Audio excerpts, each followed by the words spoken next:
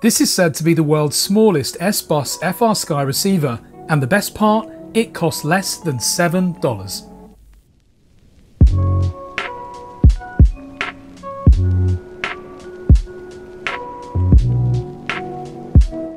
So here it is, the iRangeX RX803 Super Micro S-Bus receiver, and it is quoted as the world's smallest 2.4 gigahertz receiver yet. It is super micro.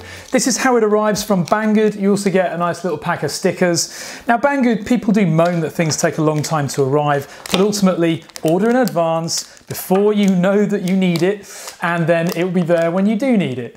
Of course, you can also select different shipping options for it to arrive sooner. Now I've had to zoom the camera in as far as it will zoom because this thing is just ridiculously small. In fact, the Futaba connector that's actually shipped with it is bigger than the actual receiver PCB, which is just minute. I can put this thing on my little finger so this is a 16 channel S-Bus receiver, 2.4 gig. You can even broadcast RSSI via one of those channels and it has full analog and digital telemetry output as well, which is so impressive.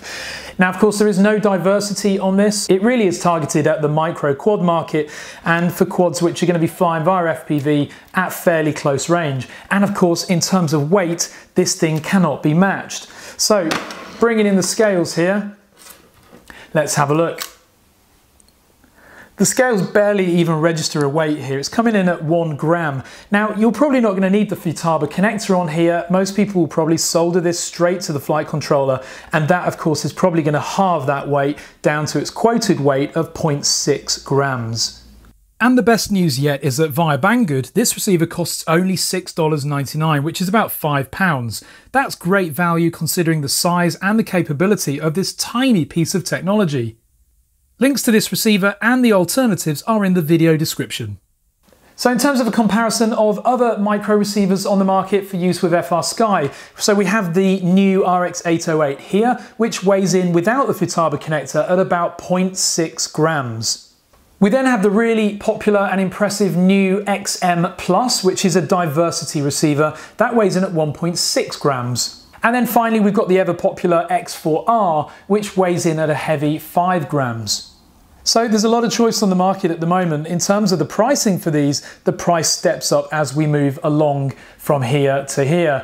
So this does represent great value and brings a massive weight saving as well. We will be flight and range testing the new RX803 in a future video, so be sure to click that subscribe button below. Links to this product are in the video description. Order one up now. Let us have your thoughts. It's so cheap that it's worth buying one anyway just to play with. Comment below with your thoughts, give this video a thumbs up, and thanks very much for watching.